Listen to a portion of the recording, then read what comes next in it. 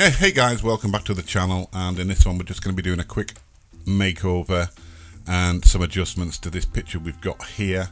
Uh, it's a more mature model that we had in the studio and I've had a few questions over the last few months about using this software on an older model so I will show you how I would use it in this video and uh, I might go over some of the or I might use some of the new features that are available in Portrait Pro 2022.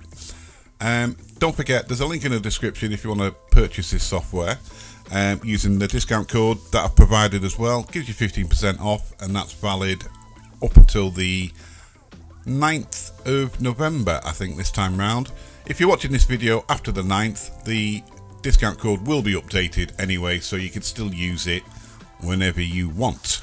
Okay, so if there's a new discount code there after the 9th, it will be valid and you will still be able to use it to get yourself some discount on this software.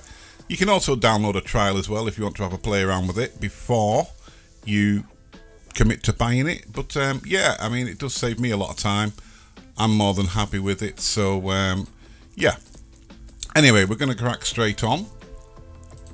And um, first thing first, we will just check that the automatic face recognition features has caught the face perfectly which in this case it's just missed a little bit here. Now you know you get people saying oh is it any better than last time? Blah blah blah. Well look listen doesn't matter what software you use nothing is 100% perfect so you might have to do a couple of adjustments yourself but I think it always does a pretty good job anyway so okay I'm happy with how it's done that and we're going to go straight into the shaping tool.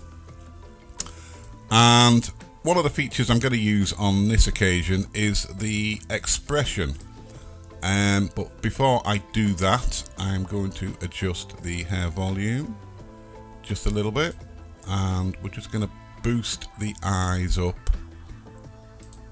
just a little bit as well. So we just want them a little bit wider now if you look on here, this eye is a little bit more closed than the other one, so we will adjust them individually as well. Okay, I'm happy there. Um, we don't have to do anything with the lips, etc., because she's got nice plump lips anyway. Okay, so the expressions, let me just see where they are. They're in here as well. Oh no, there is a oh there we go expressions. I do apologize. Now yeah this is one of the new features you've included um, so you can change the expression. Now this adjusts all the face to that sort of expression. So if you wanted a looking thoughtful if you wanted someone with a bit of interest which is the one I'm going to be using if they were surprised if you go too far they're going to look ridiculous. Um, so you just use everything in moderation. If you want a frowning Oh, she's looking really angry there. Oh, if you want a nice smile as well. So we're going to use a smile one. And then I'm going to use the interested look as well. If you look at the eyebrow area, it does adjust them as well to give that little bit of an interested look. So we're just going to bring that up to around about halfway and I'm done in there. Now again, um, when I'm using this software, I don't go crazy over the top with the smoothing out the skin because it just looks silly. Doesn't matter what software you use, Photoshop or any of the other ones on the market. If you go too far, it does look stupid. So in this case, we're just going to give it some slight adjustments. We're going to smooth the eye area just a tad. And you can see we're just doing it lightly.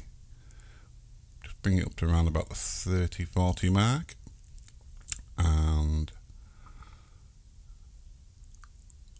No, we'll leave it around, around halfway, I think, on that one. Imperfections, again, if you go too far, it's going to look stupid, so we're just going to bring that up to around about the 30 mark.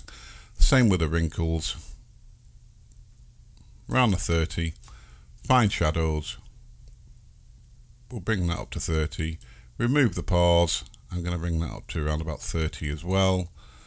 Um, and then we'll add a little bit of sharpening back in around about 10. Don't need to trim the eyebrows, anything like that. So we're going to leave the rest of them in there. I'm going to head into the...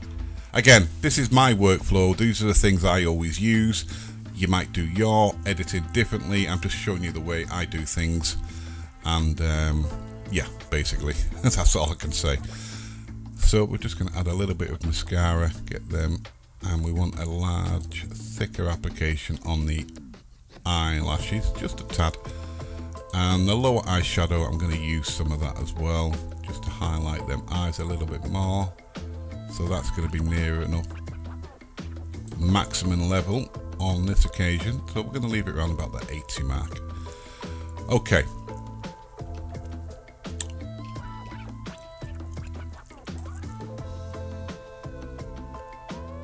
Now, if you look at here on this left hand side, just around here, there was a little bit of a dark shadow.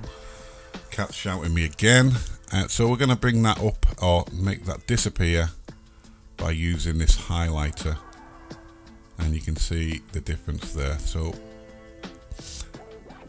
I'll bring that around the 60 mark and we'll close that one. I'm just going to head into the eyes. And we're just going to give a little bit of sharpening to the eyebrows definitely not 100%. And 23 mark will do me. We're going to brighten the iris up just a little bit. Again, you go too far on things and it's just silly. Okay, so we're just going to just we're just we're just boosting what we've got to start with. Okay, we're just boosting. That's what how I, I would suggest you use this software or any software you use. Okay, now um, I'm going to close that one down. Again, again, this is just a quick edit, just a quick fix.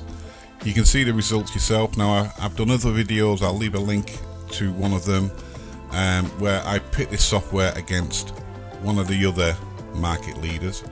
Um, and in my opinion, this is only my opinion, there's no comparison. There's nobody can do this software as well as this company. They've been at it for over 10 years, I think, now. Maybe 10 years or. Yeah, 10 years or more. Um, and I tried it back in the day, 10 years ago. And it's come a long way since then. Lots more features. But anyway, all that aside, I'll carry on with what I'm doing. I try and keep these videos to under 10 minutes, or around the 10 minute mark. Um, right, so we're going to go into the skin lighting. And we're going to give a little bit of left shadow a little bit more on the right side. We don't need to darken them eyes up a little uh, anymore. A little bit of a pout. It just gives a little bit more of a shadow under here. And sculpt the nose. And we're just going to darken that skin area up. And I'm done. I think I'm done. Again, like I've said, it's not about going over the top, just quick adjustments that help lift your picture.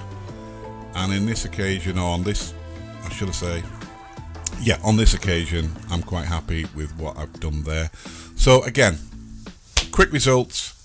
Check the link in the description if you want to try it yourself, or if you want to purchase it yourself and save yourself 15% off the price. Use the discount code provided and we'll see you in the next one. Bye.